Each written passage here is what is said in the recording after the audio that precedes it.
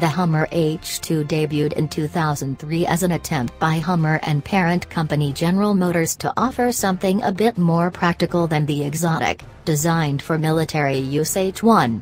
Relatively practical though it may have been, the Hummer H2's large size and US military Humvee-inspired styling still made it stand out like a sweaty heavyweight prizefighter attending a Friday night knitting class.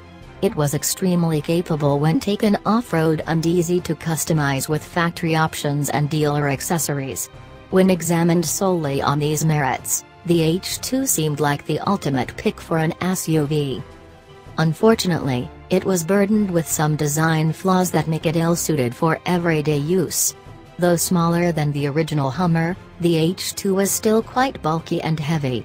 This posed a problem on many fronts, from the obvious drain on fuel mileage to the more mundane trickiness of parallel parking or driving into a tight parking garage entrance.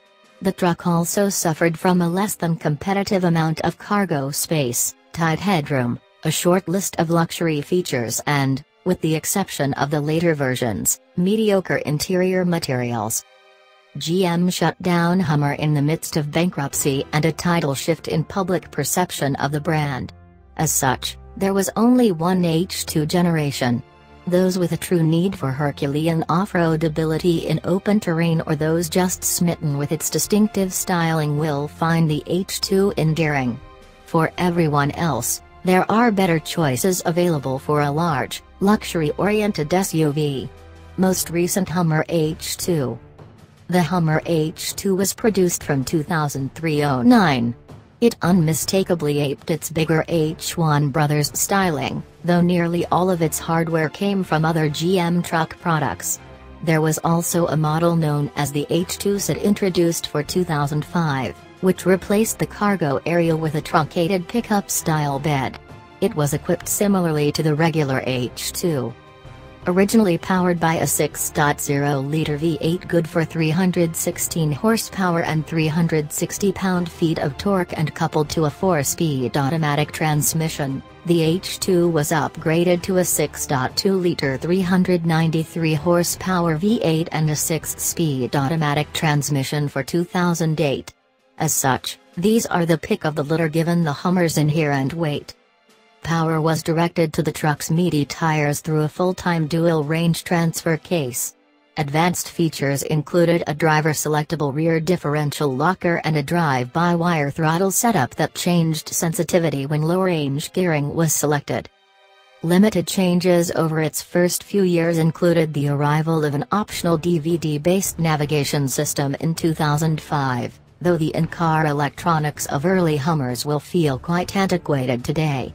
Aside from the powertrain upgrades for 08, Hummer addressed the criticism that the H2's original cabin was poorly made and not befitting a vehicle with its price tag.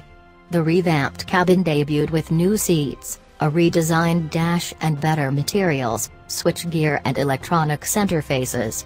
Model year 09 saw the arrival of optional second-row captain's chairs and a new third-row seat storage option that freed up more interior space.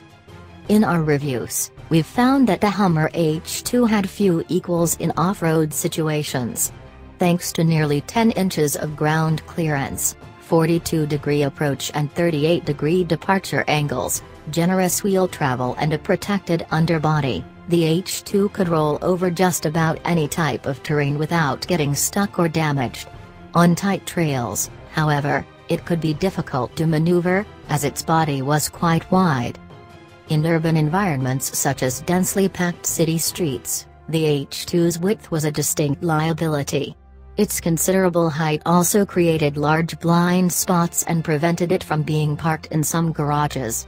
Inside, the H2 offered comfortable seating for front passengers, but taller folks in the back were likely to find their heads canted to the side under the low roof.